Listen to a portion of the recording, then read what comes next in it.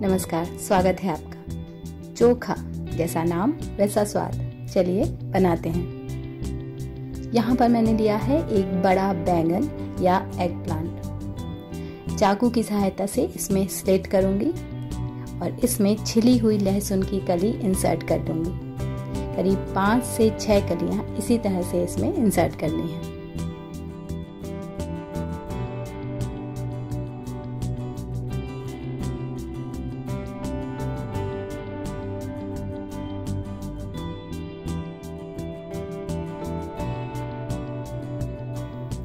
अब सरसों का तेल हाथों की सहायता से अच्छी तरह से बैंगन के ऊपर कोट कर दिया। आँच पर बैंगन को भूनने के लिए रख दिया। जब तक बैंगन भूनता है, दूसरी सब्जियों की तैयारी कर लेते हैं। यहाँ पर मेरे पास है डेढ़ इंच अदरक का टुकड़ा। इसे बारीक बारीक काट लेना है। अदरक ना सिर्फ़ स्वाद बढ़ाएगा, बल्कि बैंगन को पचाने में भी मदद करेगा। दो हरी मिर्चियाँ ली हैं, ये काफ़ी तेज़ हैं। इन्हें बीच में से स्लिट करके मैं बारीक बारीक काटूँगी। हरी मिर्चियाँ ही मेन रोल अदा करेंगी मिर्च का चोखे में।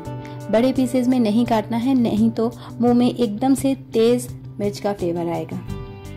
बीच बीच में मैं बैगन को भी अलटते पलटते जा रही हूँ।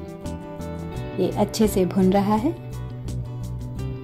यहाँ पर मैंने लिया है एक मीडियम साइज़ का प्याज। इसे भी बारीक बारीक काट लेना है। देखिए, प्याज और लहसुन डालना ऑप्शनल है, लेकिन डालेंगे ना तो स्वाद बहुत बढ़ जाएगा।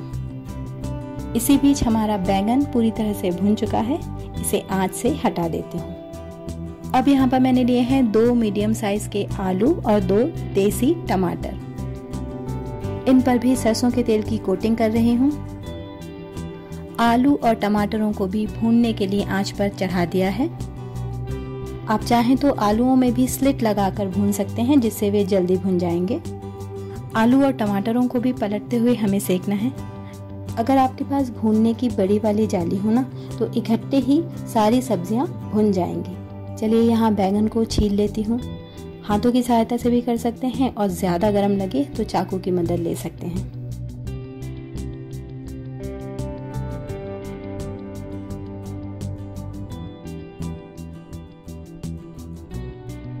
यहाँ पर बैंगन का मैंने कैप हटा दिया। लहसुन भी बड़े प्यारे भुन गए हैं। यहाँ पर अगर आप बैगन के बीजों को आसानी से हटा सकते हैं तो उन्हें हटाते चलिए। बैंगन के बीज पचने में थोड़ी मुश्किल करते हैं तो अगर कुछ बीजों को आसानी से हटाया जा सकता है तो उन्हें हटाते जाइए। कुछ बीज तो ऑब्वियसली उसमें रहेंगे ही, वो खाने में एक क्रंच भी ऐड करेंगे। बैंगन को इस तरह से रफली मैश कर लीजिए। अच्छे बैंगन खरीदने की एक टिप बताती हूँ। जब भी आप इतने बड़े साइज़ का बैंगन लेना तो आकार के हिसाब से उसका वेट कंपैरेटिवली कम होना चाहिए। तो ऐसे बैंगन में बीज कम मात्रा में मिलते हैं। जिन बैंगनों का वेट बहुत ज़्यादा होता है, उसमें मान लिए कि बीज बहुत ज़्यादा होंगे तो उन्हें अवॉइड कीजिएगा। टमाटर अच्छी तरह से भुन गए हैं, इन्हें हटा रही हूँ। आलूओं के लिए थोड़ा टाइम और लगेगा।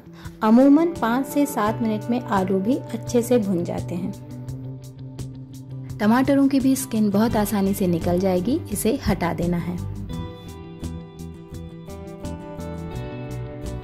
आलू में चाकू आसानी से चला जा रहा है, ये पक गए हैं, इन्हें भी निकाल लेते हैं। अब इन आलूओं का भी छिलका हटा देंगे। थोड़े गर्म है इस समय।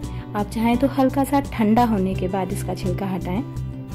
आप चाहें तो भुने हुए आलू और टमाटरों की जगह उबले हुए आलू और फ्रेश टमाटर को भी बारीक काट कर ले सकते हैं। लेकिन जो स्वाद और स्मोकीनेस भुने हुए टमाटरों और आलू का होगा ना, उसका कोई कंपैरिजन नहीं है। ये थोड़ा सा कालापन भुने हुए सब्जियों पर छीलने के बाद रह जाता है ना, इन्हें रहने दीजिए। ये बहुत अच्छा स्मोकी फ्लेवर ऐड करता है।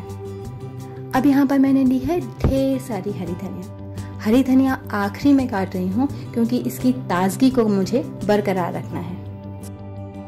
ताज़ी हरी धनिया भी रेडी है।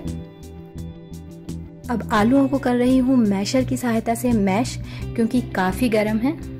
आलूओं से हमें चोखे में टेक्सचर के साथ साथ एक बाइंडिंग भी मिलेगी। अब इन सभी सब्जियों को हाथ की सहायता से मैं अच्छे से मिलाऊँगी। हाथ से मसलने पर सब्जियों का स्वाद और खुशबू एक दूसरे में अच्छी तरह से इन्फ्यूज हो जाएँगी। तो जो काम हाथ कर सकता है, वो चम्मच नहीं कर सकता।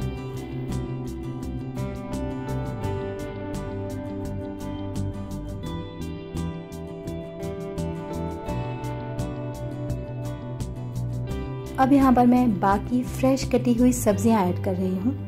प्याज, अदरक, हरी मिर्ची और हरा धनिया। अगर आप प्याज डाल रहे हैं तो चोखा सर्व करने से जस्ट पहले ही प्याज को मिलाइए। नहीं तो अगर आपने पहले से ही प्याज मिलाकर रख दिया तो प्याज अपना कमाल दिखा देगा और चोखे की फ्रेशनेस को कम कर देगा। सभी चीज़ों को अच्छे से मिला देना है। अब एक छोटा चम्मच भुना जीरा पाउडर इसमें मैं मिला रही हूँ। साथ ही स्वादानुसार नमक। सब्ज़ियाँ अभी भी गर्म हैं तो भुने जीरे का फ्रेग्रेंस बहुत अच्छे से अपने में समा लेंगे अब एक जादुई एलिमेंट और वो है एक से डेढ़ चम्मच सरसों का तेल। चोखा एकदम झन्नाट लगना चाहिए। खाते ही नाक से मुँह तक सरसों के तेल की खुशबू एकदम फैल जानी चाहिए। ये ना सिर्फ़ चोखे में चमक लाएगा, बल्कि चोखे को उसका ऑथेंटिक स्वाद और खुशबू भी प्रदान करेगा।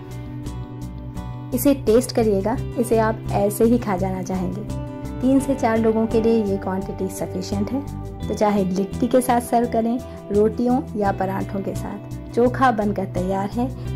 एंजॉय करिए ऑथेंटिक चोखा। मिलूँगी आपसे अपने अगले वीडियो में। धन्यवाद। नमस्ते।